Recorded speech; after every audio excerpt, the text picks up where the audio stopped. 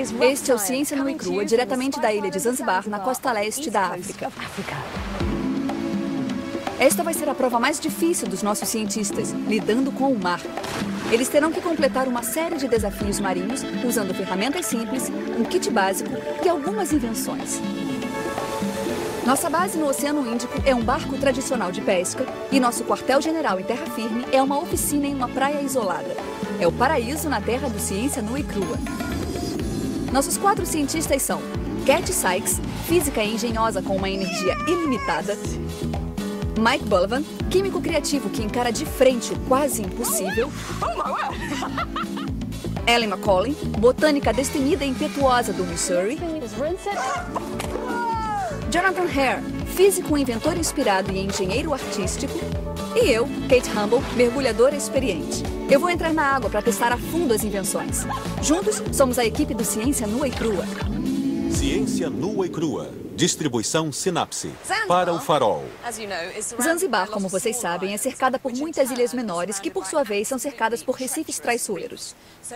E para ajudar os barcos a navegar por esses terríveis obstáculos submersos, existem os faróis. Mas não existe um farol ali, a oeste, na ilha Baui, que é esta aqui. E essa área realmente tem o maior trânsito de barcos da ilha. Então, achamos que seria legal dar à ilha de Baui um presentinho.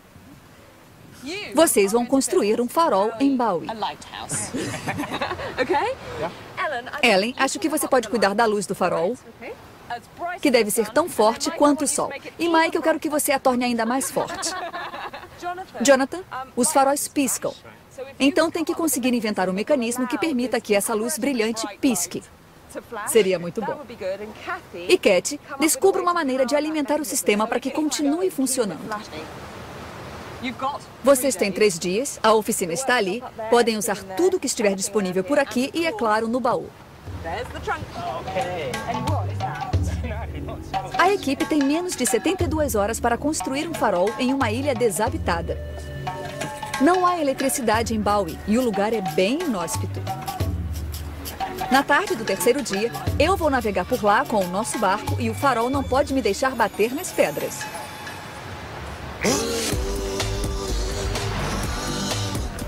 Cat vai até a ilha Baui para determinar o melhor local para o farol.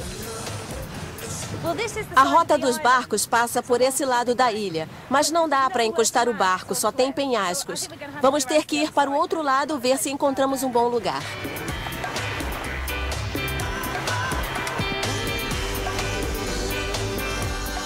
Na face ocidental da ilha, há um pier pequeno onde o barco pode encostar. Nos vemos em algumas horas. Mas Cat ainda tem que caminhar alguns quilômetros por uma vegetação rasteira tropical para chegar até o ponto mais próximo do local onde os barcos passam.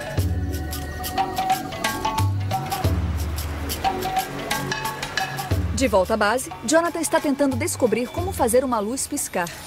Parte do desafio é pegar a luz que a Ellen vai fazer e tentar particioná-la. O motivo para fazer isso é que, se você está em um barco passando pela ilha, a luz que você vê poderia ser de uma casa. É preciso ter certeza de que a luz é de um farol, então eu quero fazer um mecanismo que seja fácil de mover. Se eu fizer um buraco no meio da bola, talvez eu possa usar como rolamento.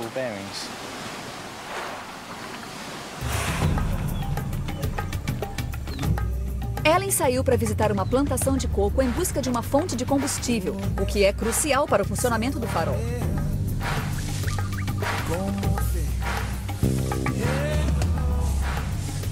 Existem mais de meio milhão de coqueiros em Zanzibar e em suas ilhas vizinhas.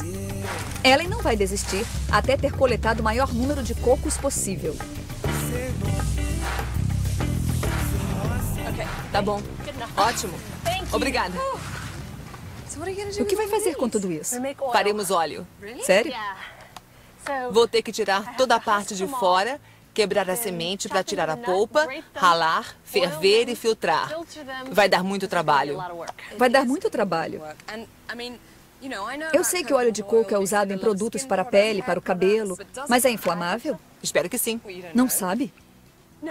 Não, mas óleo normalmente queima e esse vai ser óleo limpo e puro, então deve queimar. Admiro o otimismo dela, mas ela tem um dia pesado pela frente. Mike está trancado no laboratório de química do Ciência Nua e Crua para pensar exatamente em como tornar a luz ainda mais forte. O que eu tenho que fazer é produzir oxigênio para melhorar a chama da Ellen. Tem uma maneira muito boa de fazer isso, usando eletricidade para quebrar a água em hidrogênio e oxigênio. Quando eu conecto a bateria, você vai ver que não acontece muita coisa, porque a água não conduz bem a eletricidade. Mas se eu jogar um pouco de ácido de bateria na água, ele melhora muito a condutividade. E olha o que acontece nos eletrodos. Os gases saem bem rápido. O gás que precisamos é o oxigênio para aumentar a chama. Não precisamos do hidrogênio para nada. Há duas vezes mais hidrogênio do que oxigênio saindo da água através do eletrodo. E isso faz sentido por causa da fórmula química da água, H2O o dobro. Dois hidrogênios e um oxigênio. Isso tudo me parece ambicioso demais. Já estamos na metade do primeiro dia e Cat está passeando pela ilha Baul. Jonathan está começando a construir o farol. Mike está aumentando sua produção de oxigênio. E Ellen está lutando com os cocos.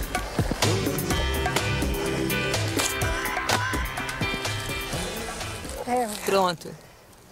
Já vi isso sendo feito antes, mas eu nunca fiz. Não sabia que era tão difícil assim. Um pouco da biologia do coco. O fruto é a coisa toda. Do lado de fora tem a casca. A semente está dentro e a polpa está dentro da semente. E é dela que retiramos o óleo. Pronto. Já estamos quase terminando de retirar a fibra. Estou morta. E agora, ainda temos que ralar o coco.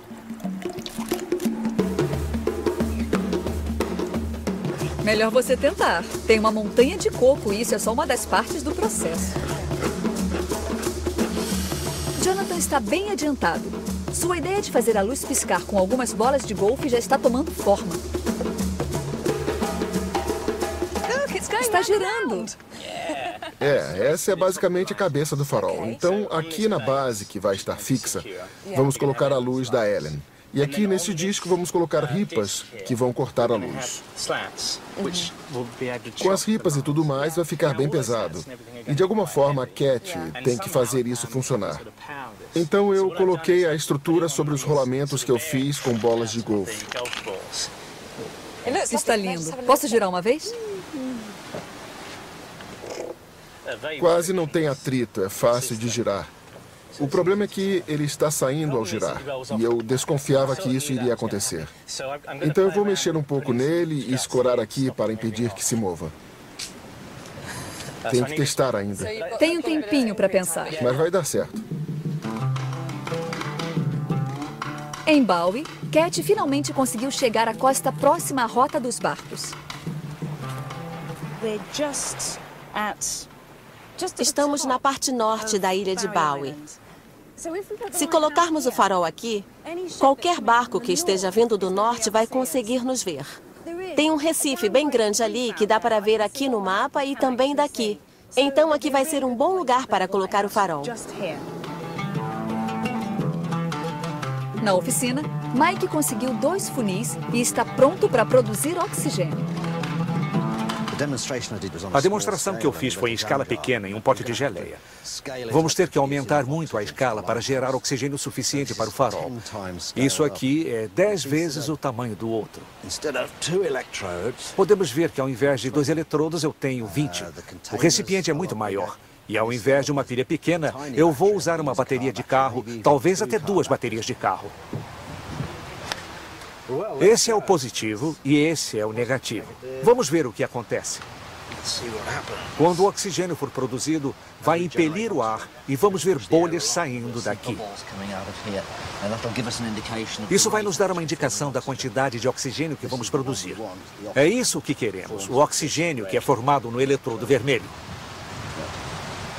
Estou vendo se está tudo selado direitinho porque não quero que o oxigênio vaze. A ideia é que o oxigênio suba pelo tubo e fique preso no pote de geleia. Estou confiante que, quando todos os elementos se juntarem, obteremos uma chama mais luminosa. Já chegamos ao fim da tarde e Ellen já passou seis horas tirando a fibra dos cocos e ralando a polpa. Para extrair esse precioso óleo, ela está lavando a polpa e fervendo esse líquido.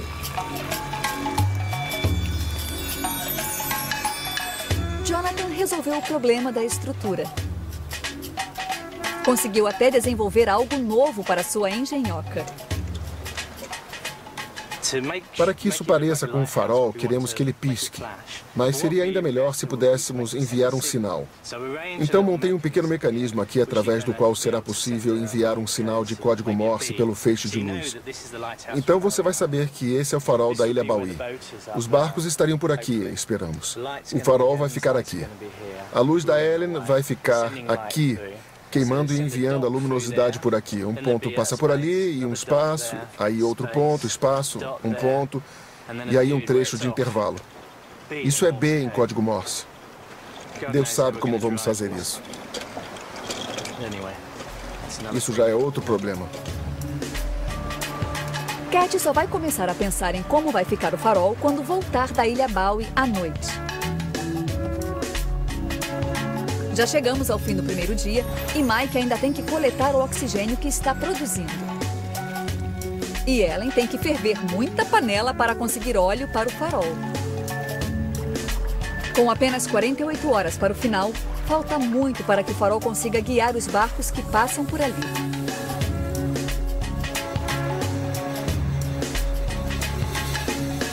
Segundo dia.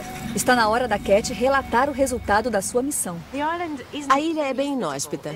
É só uma grande porção de coral de forma achatada que fica um pouco sobre o mar. Tem pedras em toda a volta. Só há um lugar de acesso que é viável por barco. Infelizmente, é do lado oposto da ilha, bem longe da rota dos barcos. Só há um caminho. Se pegarmos esse caminho e formos até o final, vamos acabar na ponta norte da ilha. E é lá que devemos colocar o nosso farol. O caminho é amplo o suficiente para levarmos o equipamento? Mas ele é estreito e acidentado. Isso vai causar problemas para todo mundo, né?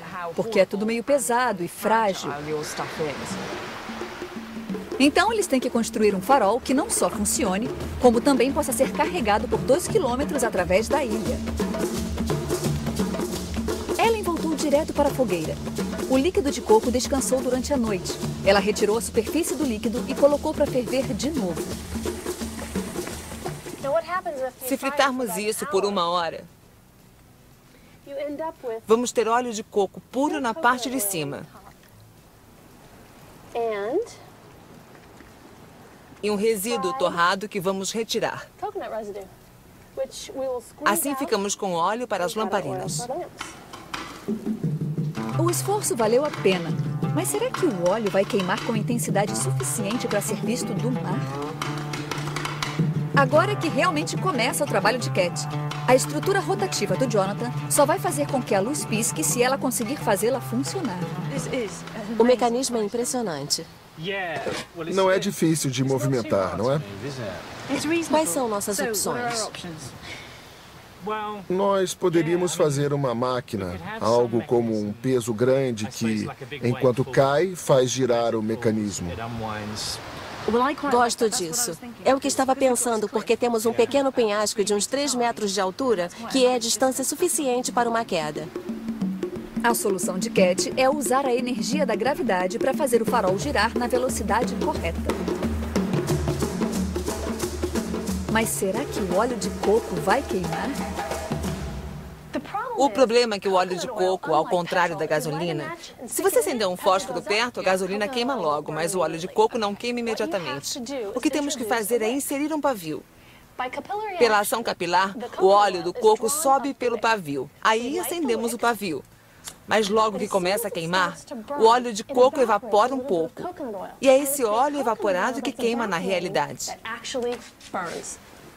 E é por isso que um pavio dura a noite toda, porque o pavio não queima. O que queima é o óleo de coco que evapora. E aí temos uma lamparina. Perfeito. Ela conseguiu. Agora precisamos que o oxigênio de Mike aumente a luminosidade o máximo possível. Como estamos? Eu vi você o dia todo mexendo com funis e pedaços de fio. Estou muito contente, mas temos um problema. Estou gerando oxigênio nessa versão amplificada do primeiro gerador da tentativa com os potes de geleia. E era para o oxigênio sair daqui e entrar no pote de geleia. E nós deveríamos estar vendo bolhas saindo daqui. Mas como você pode ver, não tem bolhas. Não tem bolhas. Isso quer dizer que não está gerando oxigênio? Está gerando oxigênio, só que ele está vazando. Dá para ver as bolhas? Então todas essas bolhas na parte de cima é oxigênio. E você não consegue capturá-lo? Eu tenho que selar bem e me certificar de que esteja selado para que o oxigênio suba pelo funil, passe pelo tubo e amanhã veremos bolhas saindo daqui. Tomara, porque estamos contando com você. Você disse que a Ellen iria fazer uma luz forte. E eu a tornaria mais forte. Vamos conseguir. Mike só conseguirá se impedir que o oxigênio escape. Enquanto isso, Cat está experimentando com pedras de diferentes tamanhos. Ela quer encontrar o peso certo para girar o farol na velocidade correta. Parece ser muito simples, mas é uma coisa bem técnica. Peguei o pedaço de metal mais fino que eu consegui e enrolei essa linha nele centenas de vezes. Espero que seja forte, porque essa pedra é muito grande. Também espero que seja. Prendi na pedra. A pedra tem que descer gradualmente, porque eu não quero que caia muito rápido. E enquanto ela cai lentamente, vai rodar isso aqui, que vai girar isso. E se colocarmos a corda aqui, vamos obter um movimento amplo para cada pequeno movimento, fazendo com que o farol gire como um todo. Então você está convertendo a energia da queda da pedra em força útil para girar o farol. Isso, vamos testar? Vamos. Segura para mim? Eu seguro. Vou descer isso. Cuidado.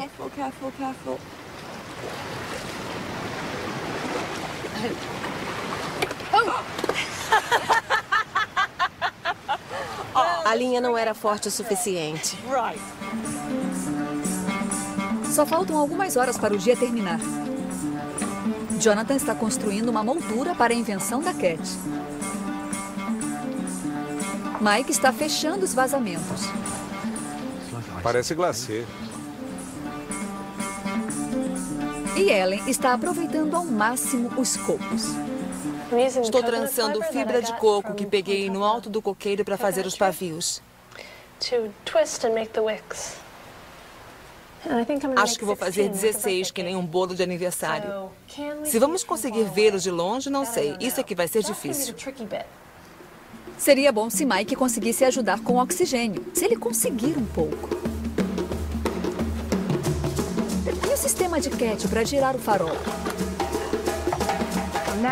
Estou usando uma corda mais forte para que a pedra não caia no mar. Muito bom. Está girando muito bem. Está. Está tudo muito bom, Cat. A corda está ligada ao sistema que gira e faz as luzes piscarem. A estrutura de Jonathan vai, por sua vez, conectá-lo ao farol. A ideia é essa, mas ainda não foi testada e o segundo dia já está praticamente acabando. Amanhã, a equipe tem que terminar os equipamentos, levá-los até Bowie e colocá-los para funcionar antes do anoitecer. Eles só têm a parte da manhã para terminar o farol.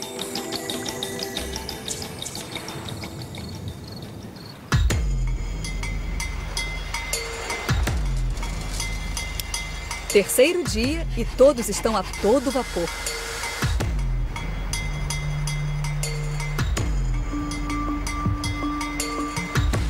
Mas enquanto Ellen dá os toques finais à sua lamparina feita de lata de biscoitos, ela se depara com um problema.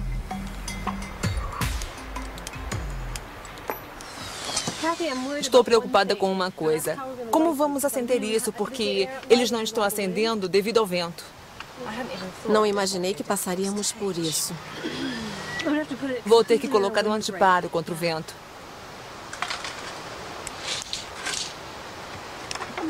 Vamos lá. Se na oficina já tem vento, eu imagino que a situação em uma falésia em Bowie não será nada melhor. Pelo menos o oxigênio de Mike está pronto. Ou será que não? Este é o tubo do oxigênio. Vamos colocar isso aqui. E aqui. E ver se conseguimos bolhas de oxigênio. Olha. Bom, muito bom. Isso é oxigênio. Eu vou procurar a Kate para provar para ela que isso é oxigênio.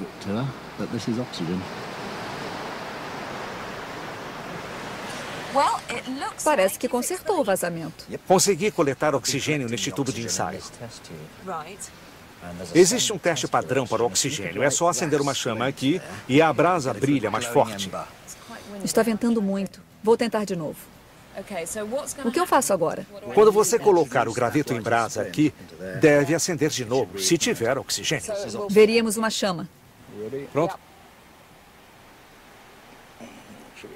Deveria acender. Apagou. O que houve, Mike? Não sei. Estamos produzindo oxigênio, gerando oxigênio. Só não consigo provar isso.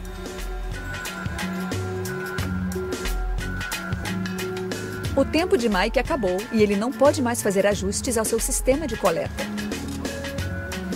Ele vai ter que abandonar a produção de oxigênio e ajudar Ellen a fazer um anteparo contra o vento. A equipe do barco está a postos para nos levar para a ilha Bowie.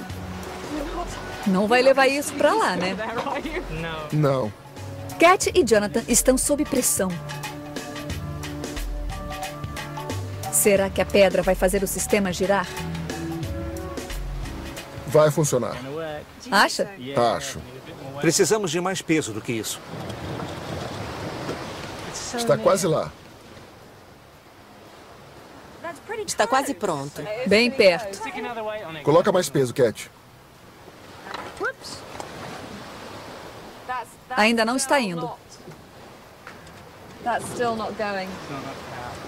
Precisamos de mais peso. As pedras não são pesadas o suficiente para gerar o farol. Mas Cat está determinada a provar que o seu mecanismo funciona antes de sairmos para a ilha.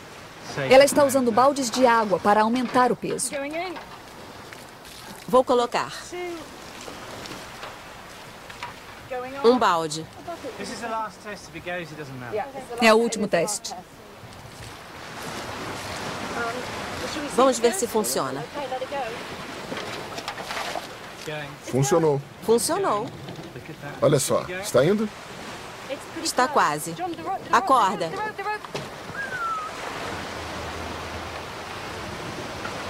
Estava quase lá.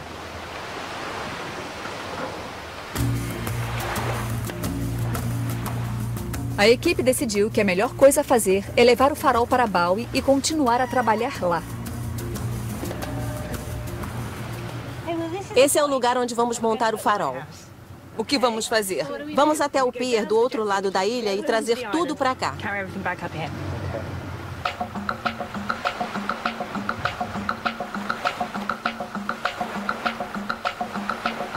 Desembarcamos em Bowie. Agora temos que caminhar pelo mato para chegar até o ponto que dá para ver onde os barcos passam. Todos os componentes do farol tiveram que ser carregados. Finalmente chegamos ao local perfeito, mas só temos mais duas horas de luz para terminar o farol.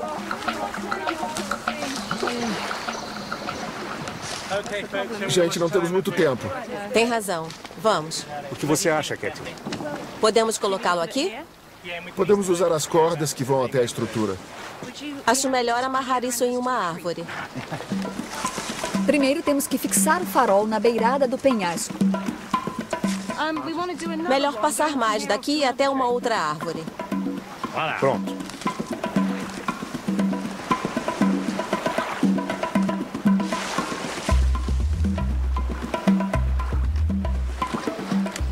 Está bom assim? Eu sei, só um segundo. Tenho que prender isso. Tudo bem? Eu preciso de ajuda. Kate, Mike. Sim. Firmem a roldana e segurem se a corda sair. Vou colocar mais duas pedras. Dessa vez, Cat acha que conseguiu o peso certo. Mas a corda tem que ficar na roldana para o farol girar. O peso daqui é enorme. Está bom. Solta a roldana. Está indo. Está indo. Está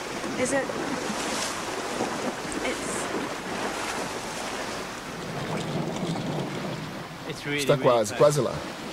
Dá para colocar mais água? Não tem mais espaço. Tem meia tonelada de pedra ali. Está quase indo.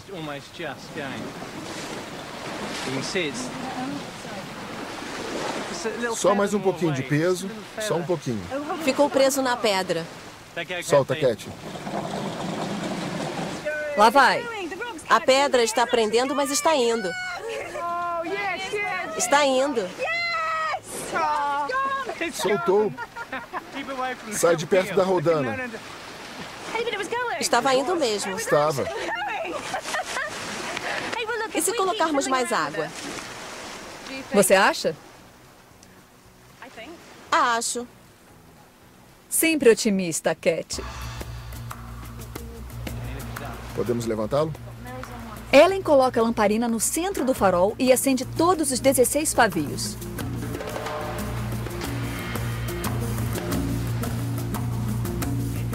Ellen, Mike e eu voltamos para o bar. Queremos ver a luz do farol do ponto onde os barcos transitam. Vamos ver se vai dar certo. Jonathan e Cat não têm muito tempo para fazer o sistema girar. Cat coloca mais uma pedra.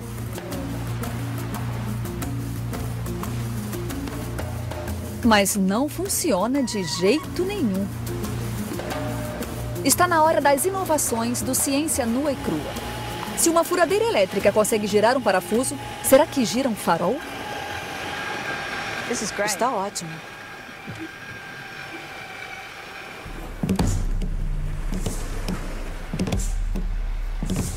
Já passamos do Recife. Se conseguirmos ver uma luz, então o farol está cumprindo com a sua função. Algum sinal dele? Não. Não consigo ver. Acho que temos que passar pela ponta.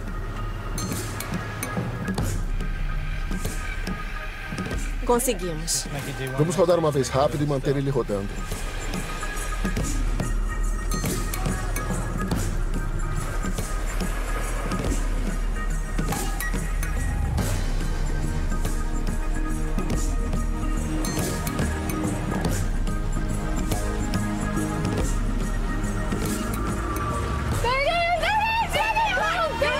Dá para ler o código Morse? Um longo. Curto. Curto. Curto. Isso é um B. Só o gongo. É o gongo.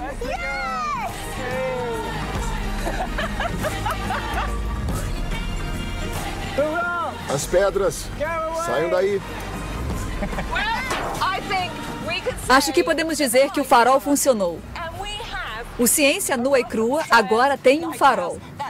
É tudo por hoje, mas fiquem ligados para mais Ciência Nua e Crua. Versão brasileira Alcateia. Na semana que vem, saímos para proteger um dos recifes mais espetaculares do Oceano Índico.